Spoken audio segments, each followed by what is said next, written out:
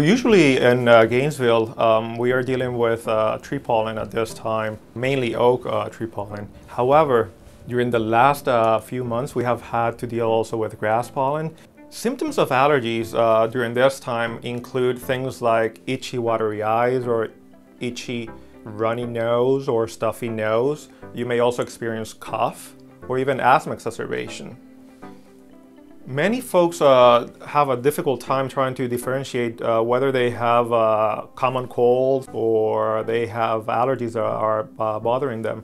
We can uh, sometimes experience symptoms that last too long, uh, a cold that never goes away, uh, use of antibiotics and symptoms continue. So those are some of the uh, characteristics of uh, allergies that uh, um, patients can use to differentiate between a common cold and uh, having allergies.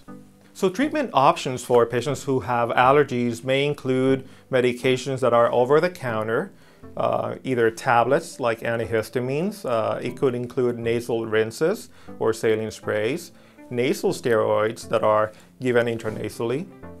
Um, also, um, allergy eye drops. Uh, now, we can also uh, prescribe medications that uh, can improve patient symptoms, including allergy shots. And allergy shots are probably the best option that a uh, patient can uh, consider if they are interested in curing their allergic symptoms. One of the most important things that patients uh, need to realize is that there are treatment options out there for them and they uh, should not be suffering. Each uh, treatment plan for an individual patient is going to be unique. So talking to your doctor and talking to your allergist uh, or seeking help with uh, our office would probably be the best.